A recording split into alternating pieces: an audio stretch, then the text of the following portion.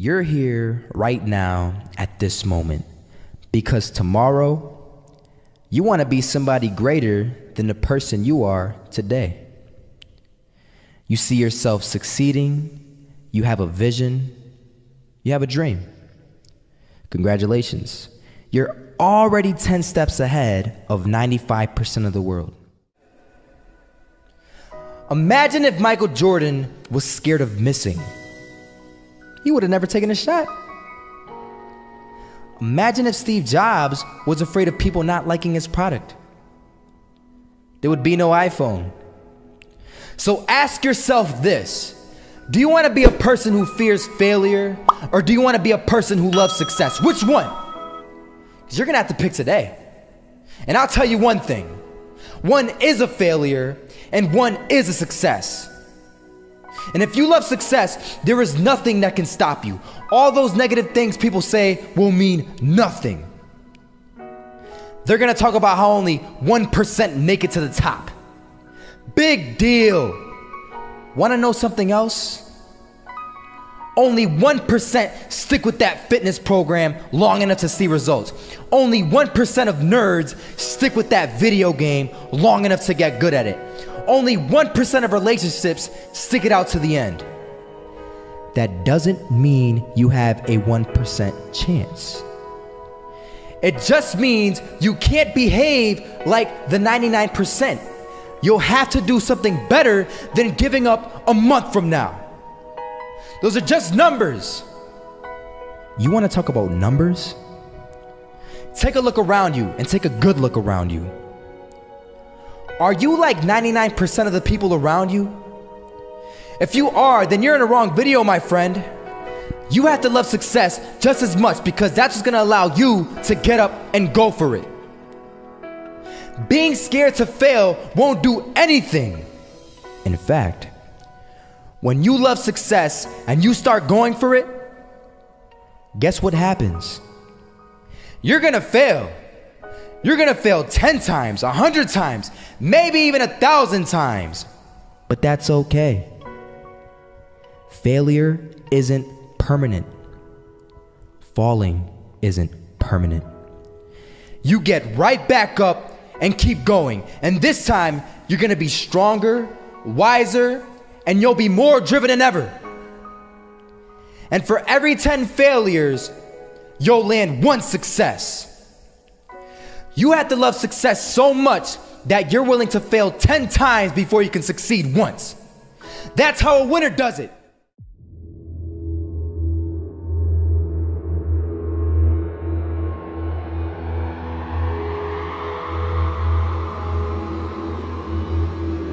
First half, I'm not gonna lie. They had us. We weren't defeated, but they had us. But it took guts, it took an attitude. That's all it takes. That's all it takes to be successful is an attitude. And that's what our coach told us. He said, he said, hey, it's gonna be tough. It's gonna be hard. You're gonna go out there, you're gonna battle, you're gonna fight, you're gonna do it for one, you're gonna do it for one another. Do it for each other, you're gonna do it for yourself, you're gonna do it for us, and you're gonna go out with this win. And we believe that, we truly did. And it's, it's an awesome feeling. It's an awesome feeling when you truly believe that you're going to be successful. Regardless of the situation, regardless of the scoreboard, you're going to be successful because you put in all the time, all the effort. Misses that shot, can't land it. So it is going to be that retake scenario. KRIMZ has the kid. Running close towards CT. Zivnik spots three of them out, but it's Olof again to find device. And Olof coming in with four. He wants the ace, and he gets it. There we go. What a superstar performance from that man. I was walking down the street and I saw an old man. Had a hat, suspenders, and a cane. Was about 80 years old. This old man was barely walking. He could walk, but the cane helped a lot. He was struggling. So, anyway, he was walking across the street and he ended up falling. So, I went over to go help him. And he gets up, says thank you, and we introduce ourselves. Had a little conversation. Told me his name and I told him mine. His name was Robert, by the way. And right as he walked away, I told him this is what I said Robert, you should stay inside where it's safe, my friend.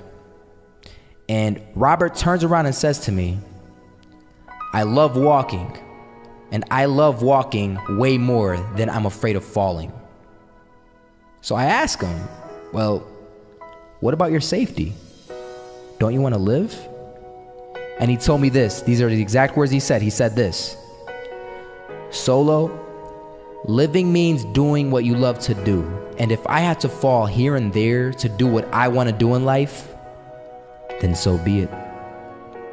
And he just walked away. Never saw him again. That was it. But that statement really had me thinking, and it had me thinking hard because I learned something that day. That's when I realized the true key to success. You see, I always thought if I could just fear the act of failing, and if I fear it like crazy, I will succeed. Because I thought the fear would magically motivate me to get out there and start taking action.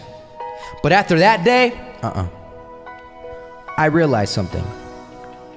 I realized it's the love for success that will lead me to succeeding.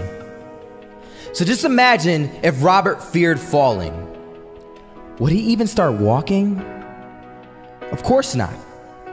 He wouldn't even do what he loved to do. He would sit at home and take no type of action. But he loved walking. Wasn't even scared to fall. It gave him life. That's what allowed him to get up and do it. He loved walking so much, he was willing to fall 10 times a day just to do it.